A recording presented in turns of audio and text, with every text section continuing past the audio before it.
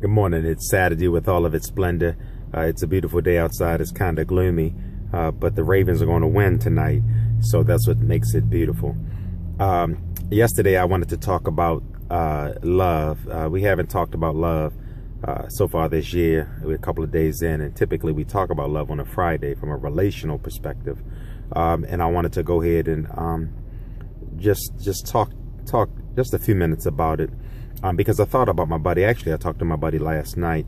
Um, I thought about my buddy in whom I talked about in the last video about how how he has been married uh, for years and his wife just shut him down completely. Um, she just went in shutdown mode. Uh, didn't want to give him none. Uh, didn't want to give him any sex. Every time he came home, um, she would say that uh, she was tired. Um, she would um, you know, uh, saying that she didn't feel like it, so on and so forth. Um, and I wanted to just cross pollinate. Um, I didn't want to truncate uh, love, and I didn't want to really, I didn't want to deodorize what I'm gonna say. Um, so um, I just wanted to talk talk from a different perspective about the defiance of love, the defiance of love, um, because we, we we wonder uh, why when we get married or why when they got married, why does she shut down? Um, and, and, and, you know, the, the biggest thing in pastoral counseling, um, in, in terms of um, marriage counseling is, is that, uh, pastors have a tough time in marriage counseling, uh, because the wife doesn't want to give them any and the husband doesn't want to do anything. Um, adversely, in premarital counseling, um, nobody wants to uh, abstain from sex anymore. Uh, they, they, they, it's hard because on one end, here you have the wife uh, who did everything she could to get him, gave him, gave him as much sex as he wanted, um, and, and, and gave him as much sex. But then when she gets in the marriage, she flips the script and doesn't want to give him any. Here you have the husband took her, got her, got her as many gifts. Uh, he thought of places to take her. Um, he thought about what they were going to do. Um, he did everything to get her. But then when he gets into marriage, he's sitting on the couch. He doesn't want to go anywhere. He doesn't want to do anything. Then you have the couple that's that that's um, not married.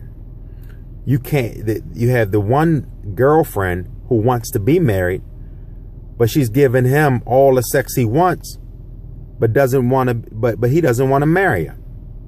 And then you have the boyfriend who, who's getting all the sex he wants and he doesn't want to marry her because she's giving him everything she wants. She's doing her duties as a girlfriend that she be doing, she, that she should be saving as a wife. Why is it? Where's the defiance coming in? From two perspectives, but there's a defiance of love that stands in between. Between the two extremes, there's a defiance. And may I suggest that the reason being that um, these two extremes is because um, number one is is that because it's comfortable. They're comfortable in both perspectives. The wife feels as if she's got what she wants. She's married. She feels as if she doesn't have to do anything. The same way with the husband. He feels like he has what she wants. He wants. He doesn't have to do anything.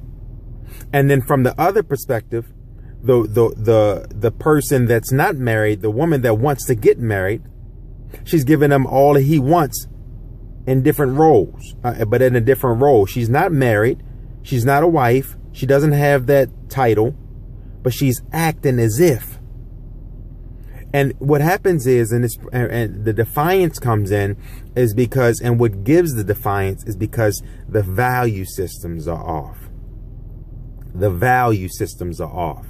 We often marry people and we don't have established the values of the relationship, the values of the marriage, the values of the relationship prior to pre-marriage the, the first value that you have to make sure is that this person um, is willing to do three things. The first thing is that is that you have to make sure that this person is willing to pray. I know it might sound uh, cliche-ish. It might sound like it's it's not it's not there. Um, you're saying, Cook, well, well, pray. What does that have to do with? Because anytime that they can't touch and agree with you on a certain aspect from a certain perspective, it's a problem. Because if they feel it, it because then that means that if this person feels as if they're operating from an egotistical perspective, that they, they, they feel like, oh no, I don't want to pray. I don't feel that's the problem. Because anytime you don't, they don't want to talk to God, they really don't want to talk to you.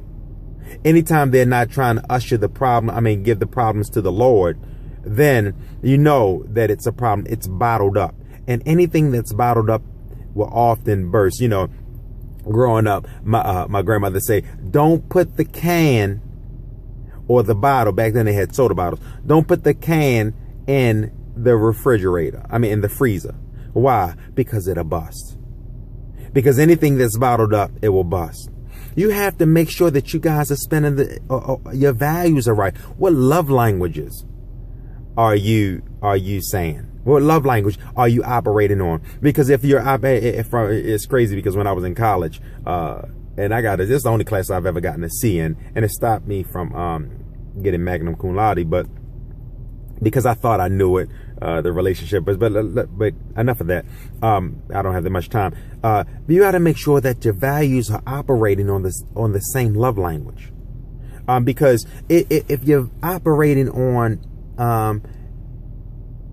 a eros, which is um, the sexual sexual um, from a sexual perspective, then if if that if sex is the only thing that's holding the relationship together, if sex is the only thing that's holding the marriage together, first of all, you're not supposed to have no sex before marriage anyway, but I'm just saying, if that's the only thing that is holding together, what happens when either one of you go become impotent?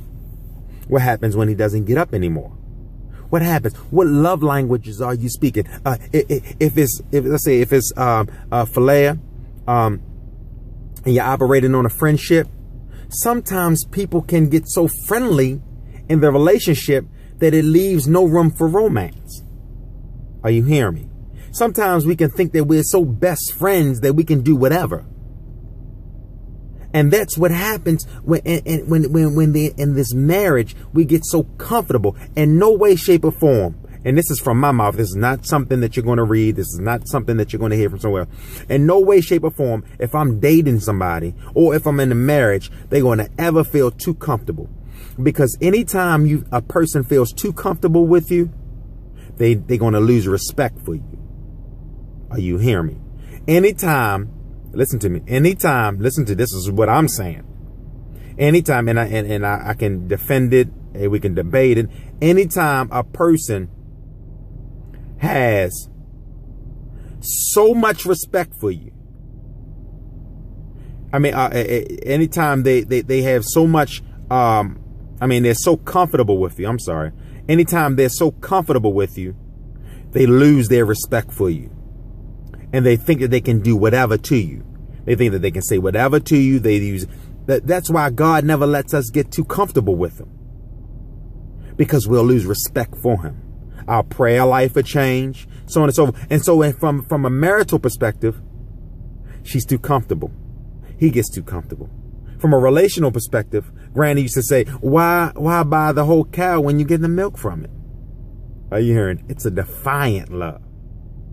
And then you have, um, what's the other one? Um, and then you have, a uh storge. It, it, it's the touchy feeling. The question that we have what kind of value system are we establishing in this relationship prior to and why? This is it. Are we praying? Does this person is this person willing to pray? The second thing is, um, is this person willing to to to iron out the differences without the ego? Value systems. Can we talk about what's going on? Can we have a direct conversation? What's going on? It was Samson. Um, Sam's because sometimes we, you know, and I'm, I'm gonna talk about types. Um, talk about types probably tomorrow. Let's talk about types tomorrow. I don't, I don't have that much time. Um, it's I've been I'm way over my time. As a matter of fact, let me close this real fast. Um, some you know you know many many years ago, um, I, you know I was talking to a friend of mine about this. Many many years ago, I, I actually uh, took took a list and I wrote out everything on this paper uh, that I wanted in a woman. It's true story. I don't have no shame in my game. Listen, I wrote out everything that I wanted in a woman. Everything. Um, I said I wanted to be um, uh, like between five feet to five five, maybe five six. Um, and I then I became really specific, but I said I wanted to be five three. Um, she had to have this feature, she had to have that feature, so on and so forth, blah blah blah blah blah. I literally put it in the envelope and mailed it off to God. Are you hearing me? I put it in the envelope. We always hear about that name and claiming and all. I put it in the envelope and I mailed it off to God. And what happened was I got that person. The exact thing, the exact type that I asked God for, I got it. And what happened? She broke my heart extreme. Broke my heart so bad that listen to this. All of this right here, this whole side of my, I was completely bald because some every some people lose weight, so on and so forth. But I was completely bald. That whole side of my face was gone. She's my Facebook friend, actually. Um, and, and what happened? Because I told God what I wanted, but the values in which I wanted wasn't implemented. I never said I want somebody that's going to always put you first, Lord. And ultimately, what happened was she crushed me. Are you hearing me? A defiant love.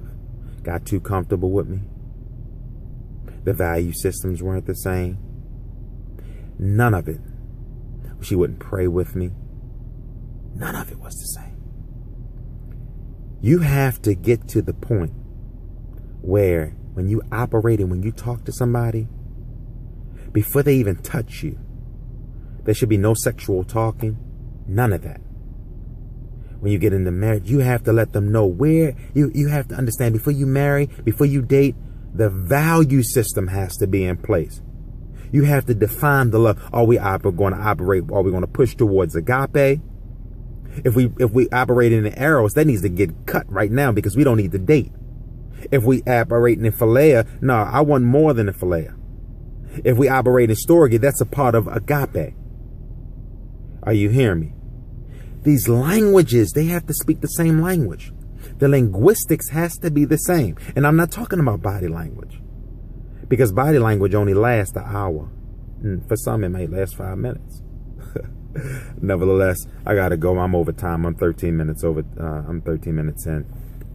Um, but I pray that before you marry, so that you won't be in this predicament, before you date, when you date, before you fall in love, before you give your heart away.